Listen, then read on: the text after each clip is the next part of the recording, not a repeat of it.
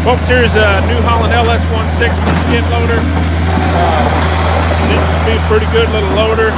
We did have to send off the uh, the panel and the uh, dash to get worked on, and it came back and we're back up and running again.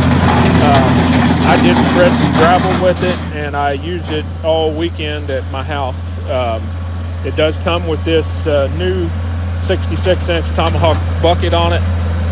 Uh, tires are about 40%, I'm going to say, and it's showing 2,270 hours. We're going to have this for sale right here. If you guys have any questions, just give one